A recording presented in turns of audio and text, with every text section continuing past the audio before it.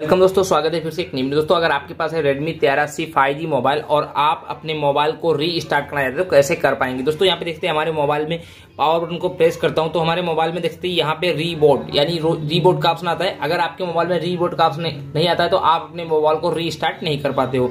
तो आप अपने मोबाइल को री कैसे करोगे? तो री करने के लिए आप अपने मोबाइल के सेटिंग्स को ओपन कीजिएगा। सेटिंग्स को ओपन करते हैं तो कुछ इस तरह से हो जाएगा, आपको थोड़ा नीचे स्क्रॉल डाउन करना है। यहाँ पे आपको एक ऑप्शन मिल जाता है एडिशनल सेटिंग्स आपको इस पर क्लिक करना है। जैसे आप इस पर क्लिक करते हैं तो यहाँ पे आपको फिर से एक ऑप्शन मिल जाता है गेस्चर शॉर्टकट्स तो आपको इस पर क्लिक करना है। इस पर क्लिक करते ऊपर एक ऑप्शन मिलेगा लॉन्च गूगल असिस्टेंट इस पर आपको फिर से क्लिक कर देना है। जैसे आप क्लिक करें, यहाँ पे आपके सामने, ये सामने टिक इनेबल रहता है। तो आप अपने मोबाइल को इस तरीके से प्रेस करते हैं तो यहाँ पे गूगल असिस्टेंट ओपन हो जाता है। अगर आपको ये सेटिंग हटाना है तो आपको अब करना क्या है?